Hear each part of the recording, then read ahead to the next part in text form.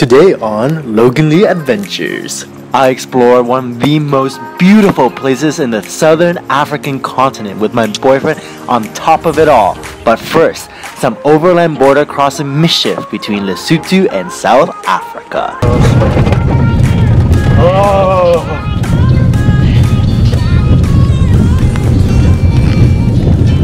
I don't think it's like starting to rain now, more so that we are driving into the storm. Like, Yeah. I think we saw it was behind that mountain that It's not raining yet, right? no, not hard. Made it through and just pulling up to the customs office uh, to go from Lesotho to back to South Africa. And we're here. That's especially easy because he doesn't even have to scan it. It's just he checks his stamp and then if you're inside your time, then he stamps you out and that's it. So easy. So I guess that's why it can go so quickly. That was the first for everything, so we just did a drive-through, literally like Funny a. thing is they always have a bridge Oh. here. You're always going over a bridge over a river, so that's apparently a natural border or something. Yeah, I noticed that too for like Zimbabwe and Zambia. It was the same thing, like no man's land. So, this whole drive-through situation, as you can see, there, we didn't have to get out the car to even get our stamps. They just, we literally just give them our passport through a window, just like ordering McDonald's, and then they just give us back our passports. So nice. We were driving on such a cool road as in it's extremely muddy and because of the previous storm and there's an incoming storm coming as well. You can see in the distance of all the rain and the flashes of oh, It's a big uh, hair. uh, oh shit, do you see that? Yeah. Yeah, so big flashes of lightning as we're talking, and no, we're not driving a 4x4, so it's really rocky getting to our accommodation. And our accommodation is like in the middle of nowhere, but it's just um, the closest accommodation we've found uh, that's after the crossing the border to back into South Africa from Lesotho. So it's um, I think we're about two minutes. It says two minutes away. So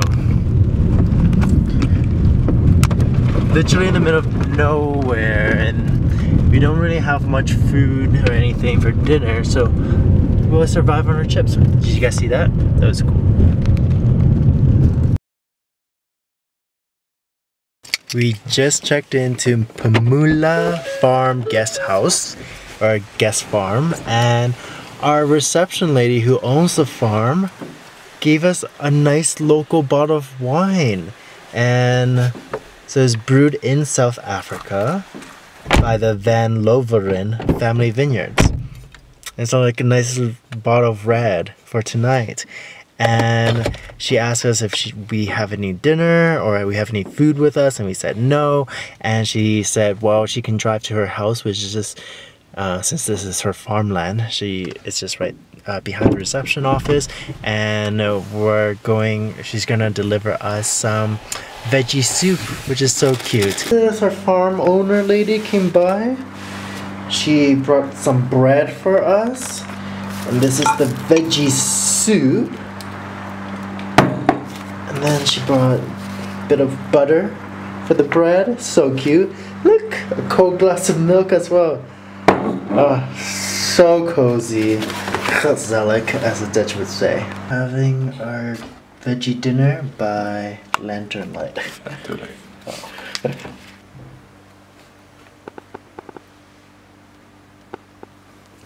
Mm. And voila. Good morning, South Africa. So last night we made it through the storm. We had an early sleep, and now it's an early rise. It's about 6:30 a.m. The sun is just coming up. You can see that, but look how beautiful this farm that we are staying on. Look, you can see this clouds coming out from the rivers, and see the clouds over there too. But you can see how bright and sunny everything is. So we're gonna hop into our car, drop everything off, and then hit the road. Not bad of a damage, not bad of a damage at all.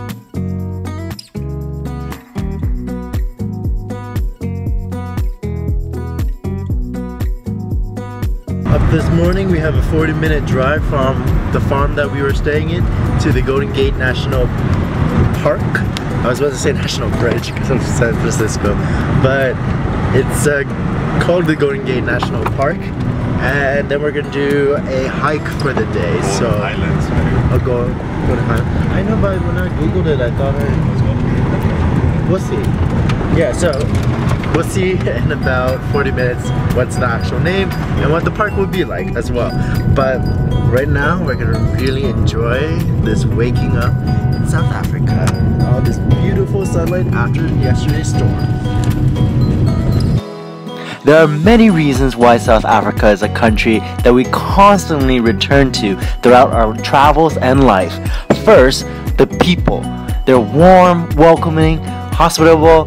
I've made some really good friends who are born and raised here from back when I was living and working in Cape Town. Second, just look at the nature of this country. What a glorious part of the continent that the country happened to be on, surrounded by the Pacific and Atlantic Ocean and these cutting landscape that just juts out of the earth.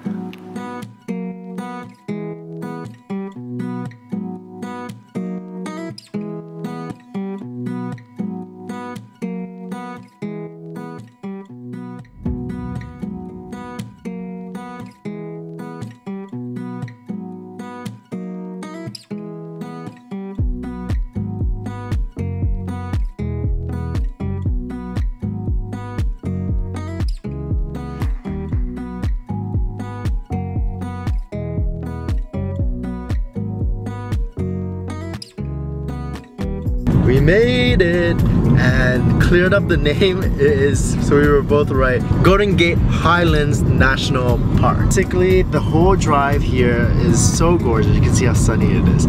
And every single turn I was just like wow wow wow wow reminds me of like such great wonderful mornings in South Africa. Like the mornings are just so special when you wake up before everyone else is when the sun has just rise or even before when the sun even has rose. And now we're in this beautiful gorgeous park where there's high mountains everywhere and you just feel kind of insignificant because of how small we are compared to these mountains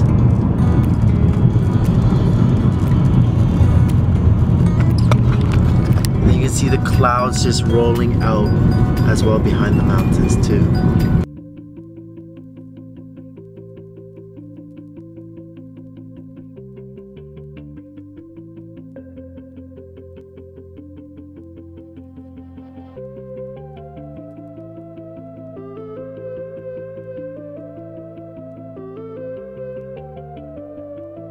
Starting our hike and it's already such a gorgeous view.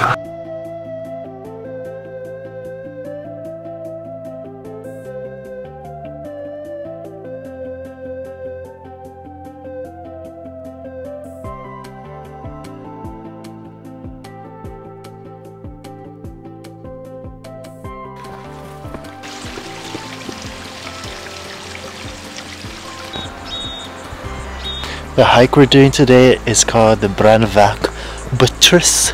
This is the trail, and we're hiking. I believe it goes this way and up around the rock or up straight through the rock, so we'll see. But so far, the views here are just so incredible. And you're walking through all of these beautiful plantations and wilderness. It's really great here. You can still see the moon just right behind the rock.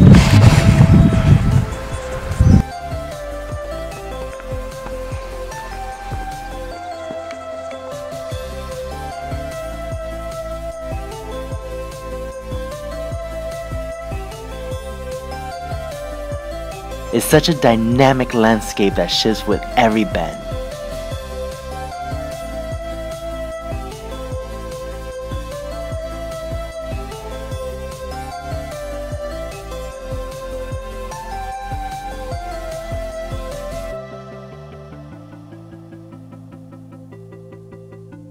Mm-hmm.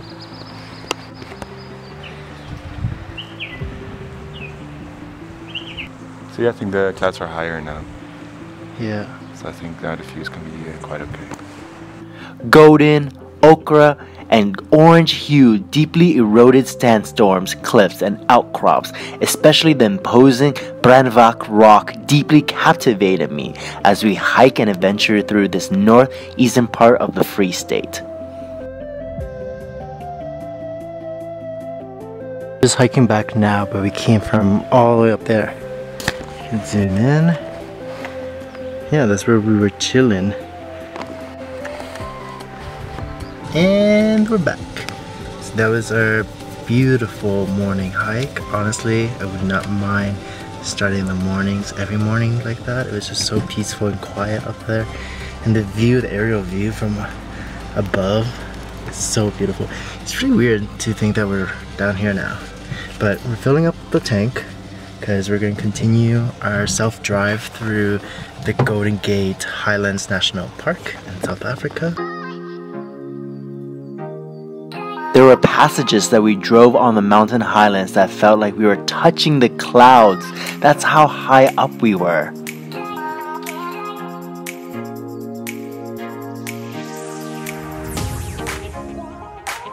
Nestled in the rolling foothills of the Maluti Mountains of the northeastern Free State, this here lies one of the best national parks I've ever, literally hands down, I've ever been to in the world.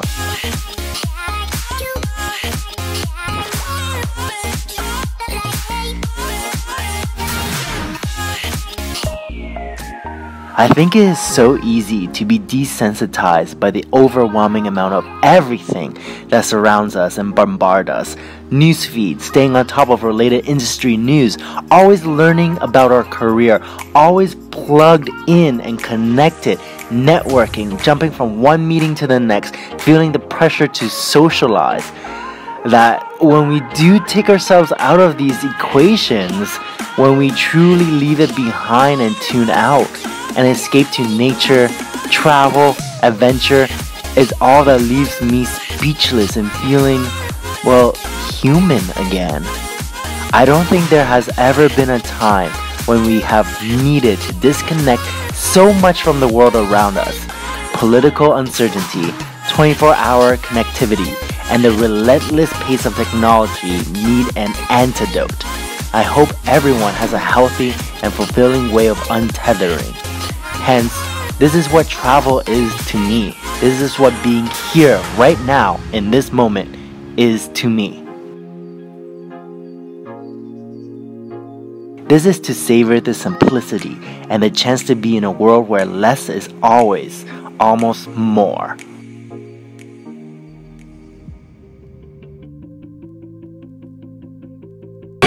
Nothing like Debonairs Pizza to end the National Park Day.